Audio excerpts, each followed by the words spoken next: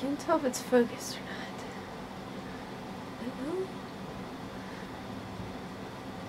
Hi everybody, I'm back with another video today. Uh, I got a request in my last video um, to show all the different animals that I have in my dorm. It was like a little meet your animal tour thing.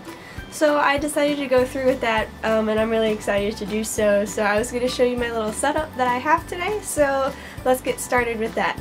This is my lizard enclosure. This is my lizard cage or whatever you want to call it. Um, her name is Lady. Uh, it's a funny story. When I first got her, I adopted her from Petco. Um, she is an adopted um, animal. That's what I always try and strive for, getting all my animals adopted. Um, except for my betta fish, I did buy him. Um, but, I mean, that kind of happens. Um, but I adopted her from Petco. She is fully grown. I'll get her out for you. I don't know how this is gonna be. She can be hard to handle sometimes. Tail kind of freaks me out, I'm not gonna lie. And you're talking to a future veterinarian. I just don't want her to drop it.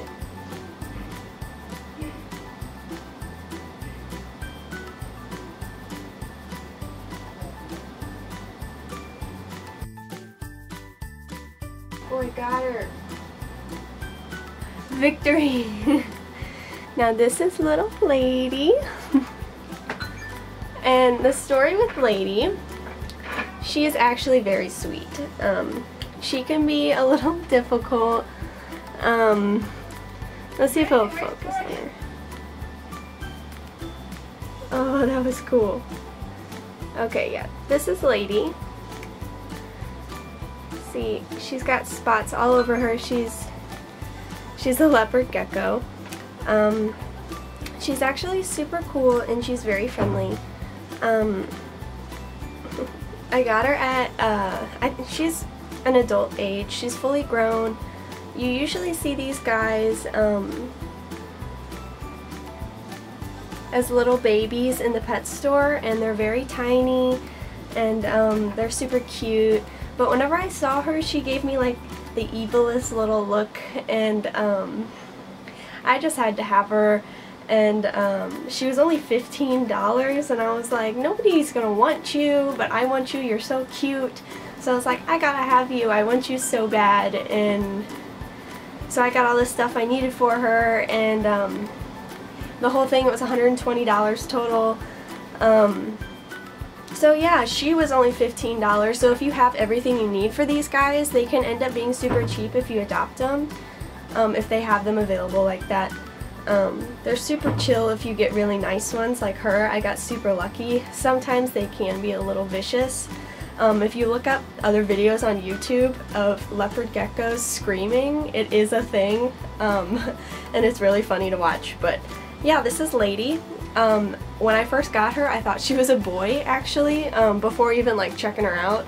Um, so I named her Lord Voldemort because she's pretty spooky looking. Um, so her original name was Lord Voldemort, and when I figured out that she was female, I was like, well, that's not gonna work.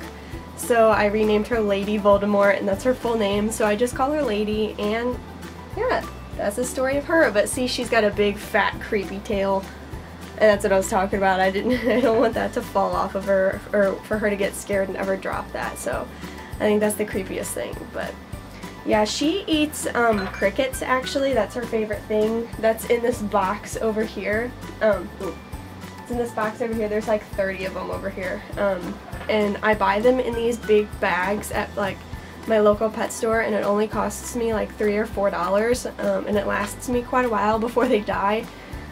Um, and I usually don't finish them all off because I don't want her to get too fat. But um, yeah, I, will probably end up doing a leopard gecko care video. Um, but yeah, she's super cool. I love having her in my room. She'll always be like climbing around. Um, I'll show you my tank and stuff like that too later in the video maybe or in a different video. We'll see how this goes. Um, but I have a lot of different things. She has two different um, cave, uh, two different caves in here, one for shedding, one for hiding out and stuff like that, um, and then a water bowl. and I'll get her out once in a while, but she usually doesn't like getting out that much, surprisingly. She'll just crawl around and watch me, watch my roommate, and kind of mock us, and it's kind of funny. It's a little joke. Um, she thinks she's smarter than us, I think. But yeah, she's super cool. She's always just chilling, looking around, thinking life's pretty cool. But yeah, that's Lady. She's my little, my little gecko. And one thing that you always want to do after handling things like leopard geckos, um, always have your hand sanitizer by your cage um, so you don't forget to use it because you can always catch things like salmonella or salmonella or whatever. Um, you can always catch things like salmonella after handling things, reptiles, um, even hedgehogs. You can catch salmonella uh, after dealing with hedgehogs too uh, because it can be found in their feces. Um, so I always have my hand sanitizer. I even have hand sanitizer attached to my hedgehog's cage because I never want to forget to use that. Alright, my next little guy, um, you can't really see him right here. Um, it's my betta fish. Uh, his name is R2-D2. I got him shortly after I saw the new Star Wars film last year. Um, so I guess that makes him almost a year old actually. Um, I wish I could show you him right now. I don't want to move my camera. it'll change the position. Um, swimming around, he's so cute.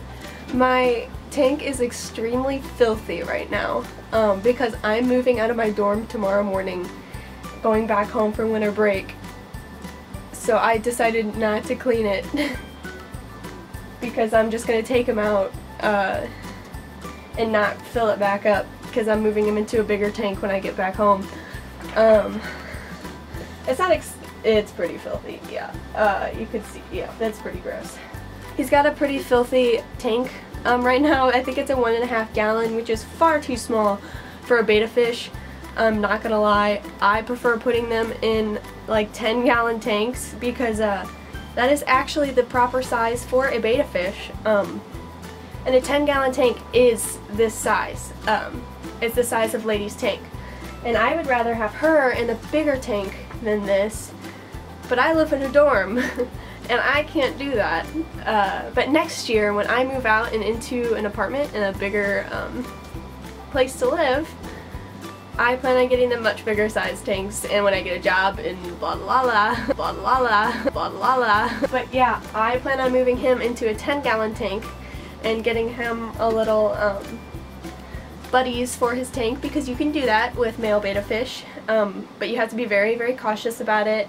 Um, and my betta fish usually live quite a long time about three years. Um, he's about a year old now. Um, she I have no idea how old she is because when I adopted her I have no idea. Um, but yeah.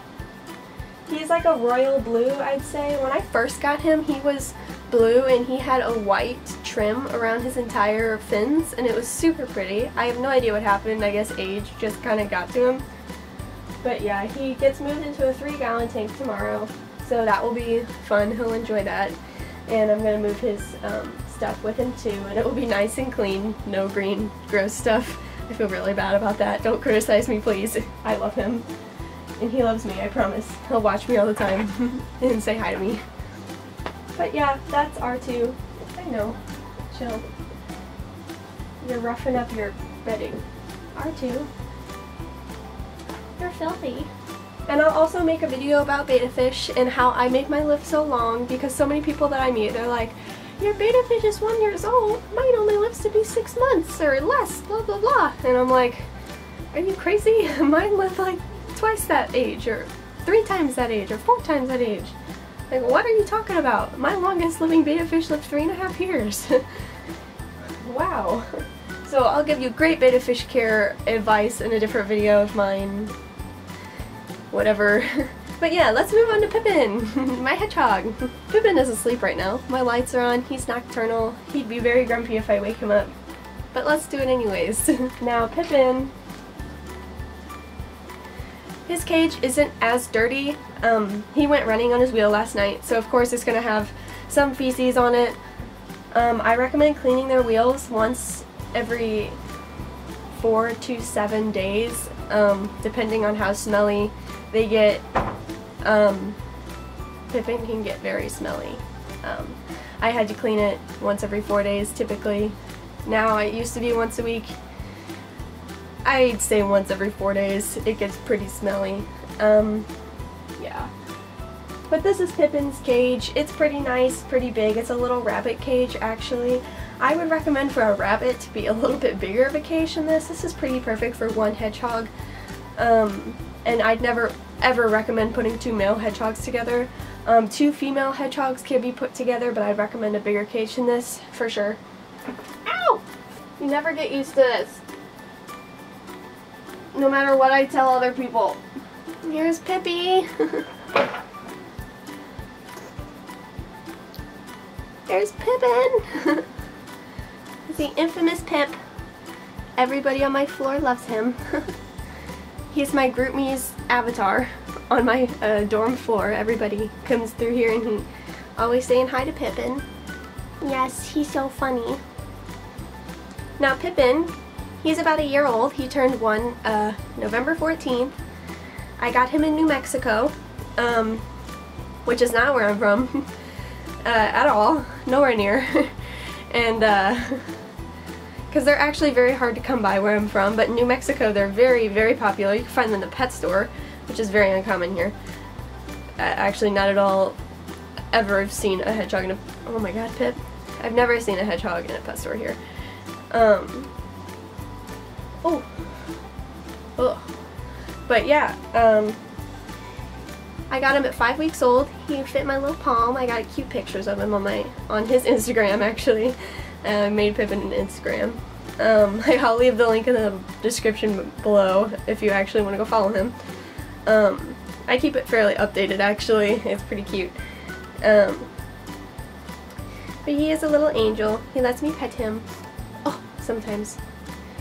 Um, and he lets other people pet him too. My last hedgehog did not let me pet her like this at all. And I think the only reason why he lets me do this is because I raised him as a little baby even when he was still on wet food because um, he was still being weaned from his mother. Like he just got weaned, so he was still eating wet food. Um, and I was putting a little bit of dry food pieces in his uh, little bowl, and um, yeah, he's got a cute little face and cute little ears. But yeah, this is Pippin. Um, I got his name from the Lord of the Rings uh, movie and book series. If you haven't heard of it, go look it up. Um, but I named him after the Hobbit, Pippin. Um, I thought it was the cutest little name for hedgehog. Uh, so I, yeah, I kind of named all my animals after the nerdiest things. One from The Lord of the Rings, one from Star Wars, and one from Harry Potter, if you kind of catch my drift here.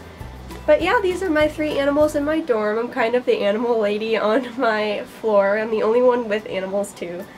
Um, I have a sticker outside my door that says animal on premise premises because I have to. And it's kind of funny. Um, so yeah, these are my animals and I hope you enjoyed the video.